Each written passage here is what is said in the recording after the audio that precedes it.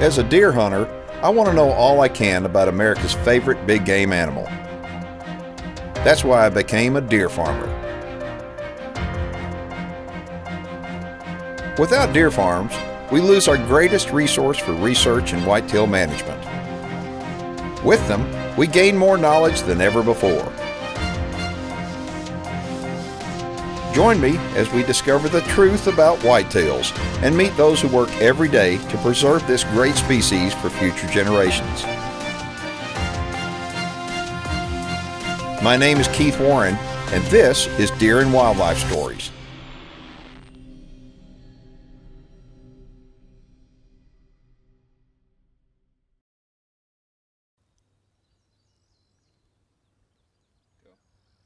It's the first week of August. There are sunflowers everywhere, and they're about three weeks away from being fully grown, and so are the white-tailed deer. Hi, everybody. I'm Keith Warren. Welcome to the show and to Ohio, where today we're at X Factor Whitetails.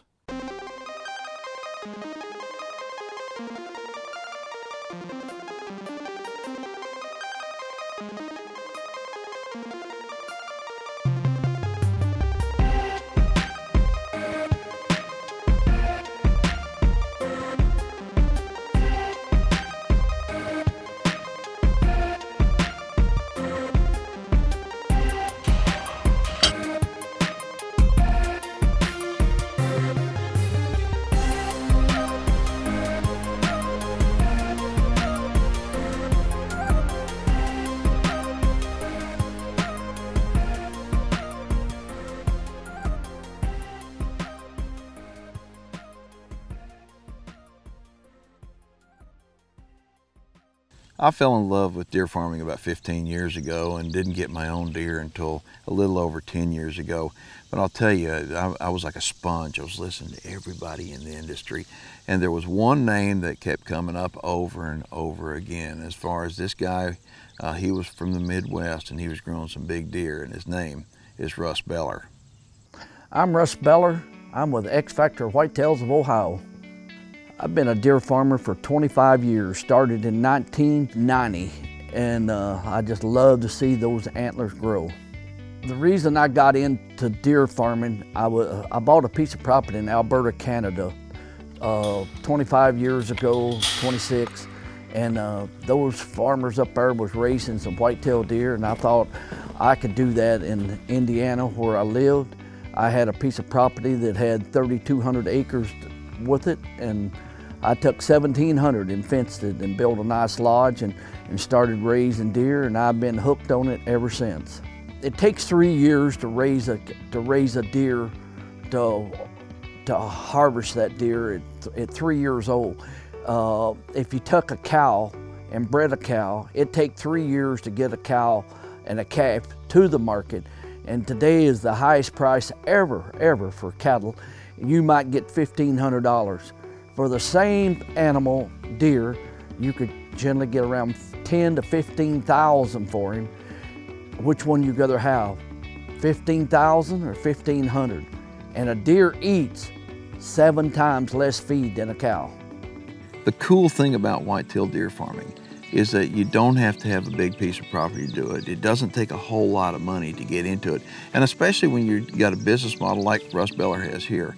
Uh, Russ isn't chasing the breeder market. And, and what we mean by that is chasing the breeder market. There's some exceptional big deer out there. And there's some people making an exceptional pile of money off the breeder market.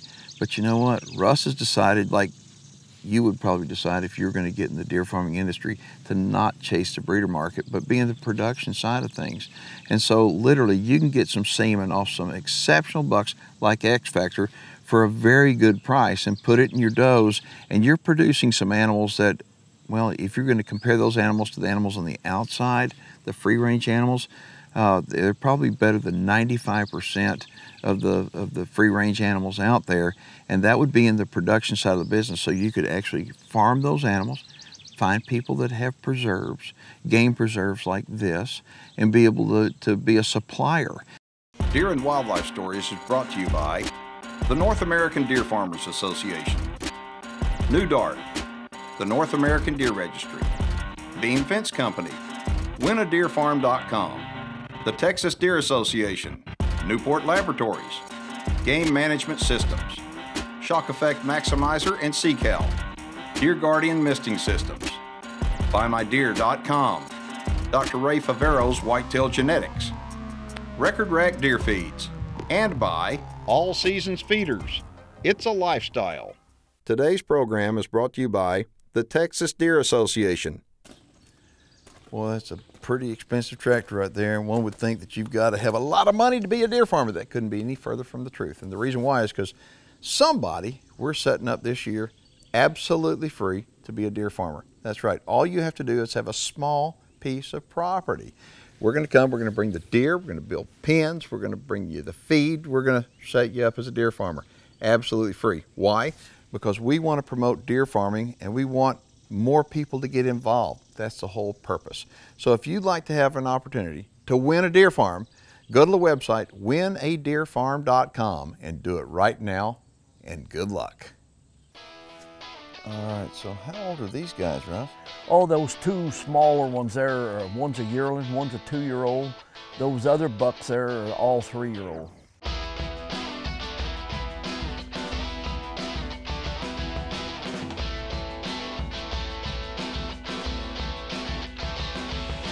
How many of them go back to X Factor? Every one of them has got either grandsons or sons of X Factor. You know, I can look at some of them and, and just from, I mean, if you were to take the antlers off of them, I can look at them and actually see X Factor in, in their face. I mean, the, the way their faces are shaped. I mean, there's a big one over there that's got a flyer off of his left side. Whew, that's a pretty deer. Well, he puts a lot of nice bucks out there. I've had some as high as uh, 600 inches out of him. Out of X Factor? Yes, out of X Factor. Well, I know that, you know, I'm, I'm looking at these deer in general and, and I and I think, you know, X Factor had a lot of non-typical stuff on him. And I mean, the older he gets, of course, a lot of these deer, the more non-typical they're going to go. But when X Factor was in a, his prime, he was, I mean, he was big framing and he, I thought he was one of the most beautiful deer ever. But I'm looking at these guys, I'm thinking, there's a lot of typical frame deer in here. I mean, sure, they got some flyers and some little trash off their points, but for the most part, it really surprises me that X Factor winds up throwing something so clean. X Factor generally throws 80% uh, of those bucks out of X Factor looks like that. I've only had about 10% that looked like he was, that was palmated and uh, and have all the junk that he had. Well, why do you why do you think that? You know, I don't know. He, you know, he came from a background of some very good typical bucks. Mm-hmm. Well, some of these deer right here, I, and, and looking at them, I mean, they're the. This is the thing that blows my mind. You come up to, I mean, I'm from Texas, and I see Texas deer that are 225 pounds. Well, these deer right here, tell everybody how heavy these deer are. Ah, uh, they'll go around 300, 280 to 300 generally. I, we uh, got a scales when we have to run run them in to work on them. About 310 is the highest we ever get one. And so when you take a look at the antlers on these guys, proportionally, I mean, that's, I mean, they look big. You know, I mean, you're looking at an animal that's 280, 300 pounds. I mean, yes, the antlers look big, but I think until you actually hold the antlers in your hand, that's when you really can't imagine how big they are. Well, X Factor, we gently cut him because uh, it gets too big to carry sometimes, and we cut him. They the most they've ever weighed was 32 pound. For the antlers. Antlers, just the antlers, 32 pound. Oh my gosh! And so, as, as a deer farmer, I mean, yes, we're we're interested in growing big deer. We want the biggest antlers we can get, but we also want to push the biggest bodies too. You've got to have the body to carry that rack. Well, I'm sitting here looking at these guys and I'm thinking they are beautiful. It's really a surprise to me to see how clean they are coming out of X Factor. I mean, I'm I, am i am impressed because I like clean looking deer like this. But but one thing that I'm noticing out of these deer, they're exceptionally calm. But when these deer are released, then again, they're not going to be calm like this. No, no, no, no. You take them off that feed when they go back to eating natural grass and stuff like that. They, they'll be just as they'll be just like a regular deer. Well, you talk about feed. I know that uh, you've got a ton of sunflowers planted around the property.